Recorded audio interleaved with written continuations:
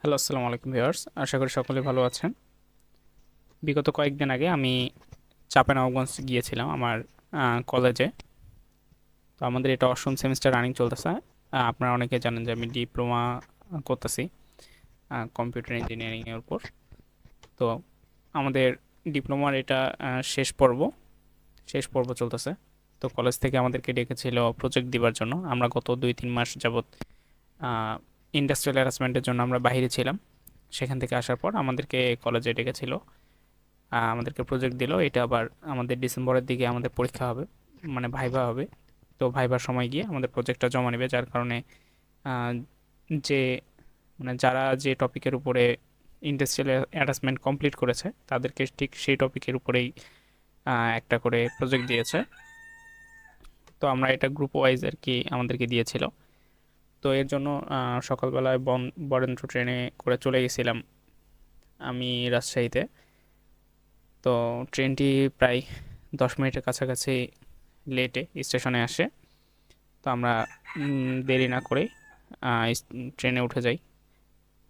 তো বাংলাদেশ রেলওয়ের যে সচরাচর যেটা দেখা যায় যে ট্রেনে সিট ফাঁকা থাকে, কিন্তু আমরা যখন টিকিট কাটতে যাই তখন টিকিট থাকে না। তো এখানেও এটার ব্যতিক্রম ঘটেনি কিছু।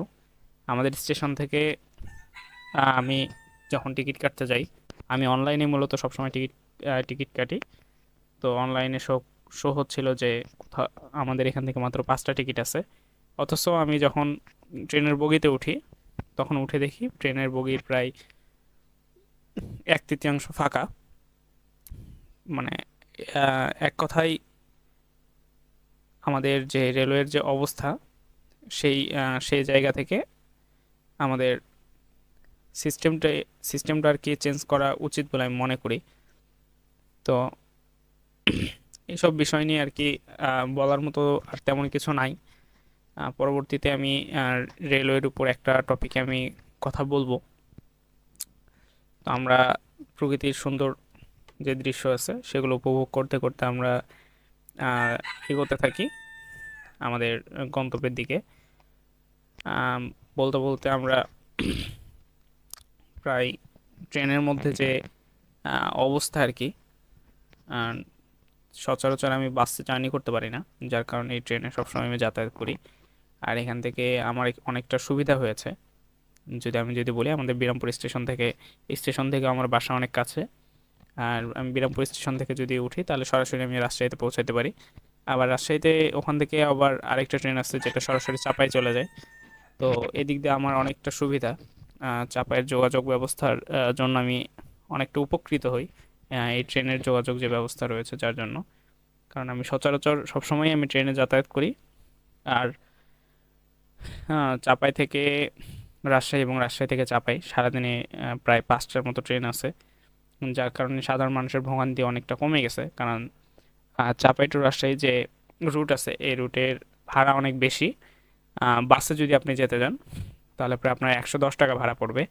ঠিক আপনি যদি ওইটা যদি ট্রেনে যান, তো লোকাল ট্রেনে আপনার কোনো ট্রেনে আপনার বিশ টাকা, কোনোটাতে তিরিশ টাকা। আবার আপনি যদি আন্তনগর যেগুলো ইন্টারসিটি আছে, ওগুলাতে যদি যান, তাহলে পঞ্চান্ন টাকা সামথিং এরকম ভাড়া পড়ে। আবার সকালবেলা বনলতা আছে তো আহ, শোভন চেয়ার যেহেতু নাই মানে শোভন সিটগুলো নাই যার কারণে এস চেয়ারে ওটার ভাড়া একটু বেশি প্রায় ছিয়াত্তর টাকার মতো পড়ে। তো এই প্রকৃতির যে মনোরম দৃশ্য আছে উপভোগ করতে করতে আমরা প্রায় রাজশাহী চলে আসছি। আমরা রাজশাহী স্টেশনে নামার পর টিকিট চেক করা হয়। কিন্তু আমার ভাগ্যটা এমন ছিল যে আজকে ট্রেনেও আমার টিকিট চেক করা হয়নি। স্টেশনে নেমে আমি যে পাশের প্ল্যাটফর্মে চলে যাই সরাসরি, অন্যান্য সময় পাশের প্ল্যাটফর্মে যেতে গেলে আপনার কাছ থেকে টিকিট চেক করে থাকে।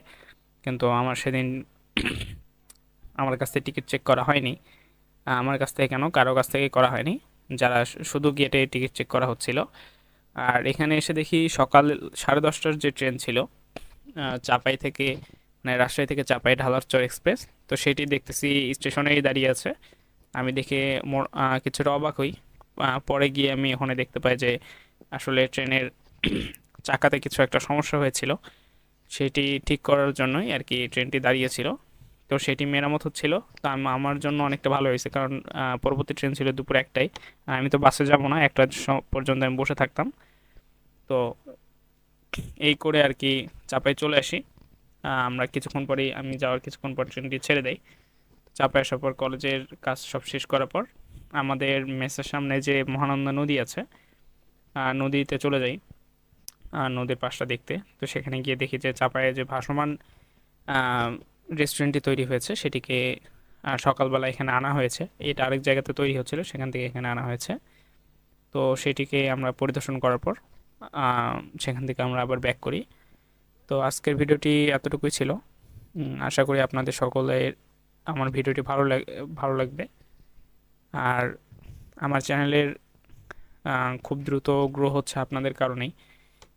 আশা করি আপনারা আমাকে এভাবে সাপোর্ট করবেন এবং পরবর্তীতে যেন আর ভালো ভিডিও উপহার দিতে পারি। ধন্যবাদ, আসসালামু